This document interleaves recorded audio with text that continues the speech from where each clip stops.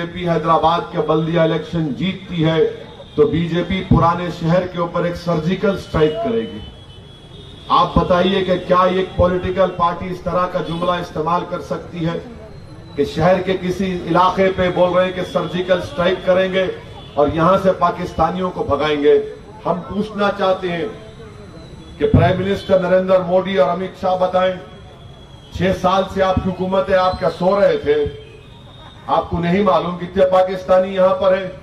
अगर है तो बताओ, मैं 24 घंटे का टाइम दे रहा हूँ आपको। एक सौ नाम बताओ जो पाकिस्तानी पुराने शहर में रहते हैं। पुराने शहर में हिंदू भाई भी रहते हैं, पुराने शहर में मुसलमान भी रहते हैं, पुराने शहर में दलित रहते हैं, पुराने शहर में बैकवर्ड क्लास के लोग रहते हैं, पुराने सिख भाई रहते हैं, हर तबके का लोग रहते हैं।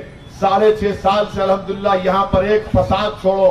फसाद के जैसा माहौल नहीं बनने दिया हम लोग। यहाँ पर मज़हब की आज़ादी सबको है। किसी का काम ये पूछकर नहीं किया जाता मंदिर की तरफ़ से कि आपका नाम क्या है, आपका मज़हब क्या है। अरे मंदिर पर इल्ज़ाम लगाने वालों फिरका परस्ती का, क्या तुम नहीं जानते कि अकबरुद्दीन अवैसी ने असेंबली में खड़े होकर लाल दरवाजे की मंदिर के लिए चीफ मिनिस्टर केसीआर से कहा कि उस मंदिर को दस करोड़ रुपए दिए जाएँ। आप बताइए काम मजलिस ने किया बताओ बीजेपी वालों, तुम तो मस्जिद तोड़ते हो। तुम्हारा काम तोड़ने का और हमारा काम जोड़ने का है। ये काम मजलिस ने किया। जब अकबर ने ये काम किया तो राजमोहन दारुसलाम को आए। राजमोहन की आँखों में आँसू थे। राजमोहन आकर कहा कि साहब, वो मंदिर के पूरे पुजारी लोग आके मिलना चाह रहे आपसे। राजमोहन लेकर आए उन लोगों को। ये तो ये ये नहीं जानते क्या? ये आवाम जानती है कि मंजलिस काम करके दिखाती है। और बीजेपी सिर्फ़ झूठे बातें करती है। बीजेपी सिर्फ़ नफरत फैलाना चाहती है। मेरी आपसे अपील है कि बीजेपी घर घर में लड़ाई लड़ना चाहती है। आज बीजेपी के पास दिखाने को कुछ नहीं है। लॉकडाउन की वजह से मैं लॉकडाउन जब हुआ, मैंने तनखीद की थी लॉकडाउन के ऊपर कि नरेंद्र मोदी ने गैर कानूनी कॉन्स्टिट्यूशन के खिलाफ लॉकडाउन किया। और आज आप देखते हैं कि उस लॉकडाउन की वजह से इनफॉर्मल सेक्टर में 10 करोड़ से ज़्यादा नौकरियाँ चले गई। करीब 35-40 लाख जो सैलरीड एम्प्लॉयज़ हैं, उन लोगों की तनख्वाहें कम हो गई हैं। दुकान पर जाकर पूछो आप किससे, क्या तुम्हारी आमदनी है? तो वो शर्माते बोलेगा कि पहले जैसी बात नहीं है। ये किसने किया? नरेंद्र मोदी की हुकूमत ने गलत टाइम पर लॉकडाउन लगाया। आज इनके पास इन सवालात का जवाब नहीं है। अरे नौकरियाँ दो तो बोलते रोहिंग्या आ गए। अरे नौकरियाँ दो तो बोलते पाकिस्तानी आ गए। अरे मंजलिस लड़ रही है, जमहूरियत को मज़बूत कर रही है मंजलिस। तो बोलते मंजलिस को वोट देना मुल्क के मुफात में नहीं है। क्या मुल्क तुम्हारे बाप का है कि तुम इस तरह की बात करोगे? साठ साल से मंजलिस इलेक्शन में हिस्सा ले रही है। आज हमारे पाँच अराकीन असेंबली बिहार में जीत कर आए। औरंगाबाद में मंजलिस का मेंबर ऑफ़ पार्लियामेंट है। जमहूरियत पर यकीन है ना? और कहते मंजलिस रैबिड इस्लामिज्म को फैला रही है। अरे, मंजलिस है तो रेडिकलाइजेशन में कमी हो रही है।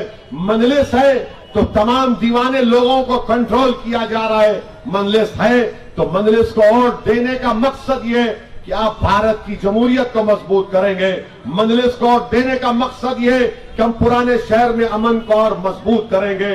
मंजलिस को वोट देने का मकसद ये कि आज हैदराबाद जो सारी दुनिया में मशहूर है, ये इस तरह के गलत वाहियात किस्म के बयान देकर मैं वज़ीर आज़म को पूछना चाह रहा हूँ, अमित शाह को पूछना चाह रहा हूँ कि तुम सारी दुनिया को क्या पैगाम दे रहे हो? जो हैदराबाद में आकर करोड़ों रुपए इन्वेस्ट करते हैं, हमारे बच्चे पुराने शहर के बच्चे और बच्चियाँ जाकर साइबर सिटी में काम करती हैं। अरे बताओ तुम क्या कर रहे हो? तुम्हारी एक इलेक्शन के लिए तुम हैदराबाद की तोहीन कर रहे हो। मुझे यकीन है कि ना सिर्फ़ पुराना शहर, बल्कि हैदराबाद के तमाम हैदराबादी पहली दिसंबर के दिन बता देंगे कि बीजेपी को एक मुँह तोड़ जवाब यहाँ से मिलेगा। और इंशाअल्लाह ये जो हमारे शहर में जो गंगा जमनी तहजीब है, जो कॉम्पोजिट कल्चर है, अरे हम कभी भी मैं नहीं चाहता हूँ। मैं आपको अपनी दिल की बात कह रहा हूँ, मेरी पूरी कोशिश हमेशा से ये रही कि 1980 और नव्वत का माहौल कभी भी ना पैदा हो, इंशाअल्लाह कभी ना पैदा हो। ये हम तमाम बुरे दौर से गुजर चुके हैं। अगर छोटा सा वाकया होता तो राजमोहन दौड़ कर जाते, अब्दुल रहीम दौड़ कर जाते, मंजलिस के लोग दौड़ कर जाते, समझाते, लोगों की नाराज़गी को कबूल करते, लोगों की गुस्से को का सामना करते। मकसद क्या है कि ये कभी भी नफरत ना पले ये मंजलिस के लिए काम किया और हमको बोलते कि मंजलिस हिंदुओं के खिलाफ है। राजभवन को चौथी मरतबा टिकट दिए और इंशाला ताला डंके की चोट पर राजभवन कारपेटर बनेगा इंशाला ताला। कारवान से राजेंद्र यादव को पाँच साल पहले दिए, स्वामी यादव को दिए। जामबाग से डी मोहन को दिए रवि को दिए। ये बीजेपी को समझ में नहीं आ रहा कि कैसे इनको इनसे मुकाबला किया जाए। नफरत क्यों है बीजेपी को कि पार्लियामेंट में असदुद्दीन अवैसी खड़े होकर ट्रिपल तलाक के कानून के खिलाफ, दलाल के साथ बीजेपी को एक्सपोज कर देता है कि मुसलमान महिलाओं के खिलाफ है।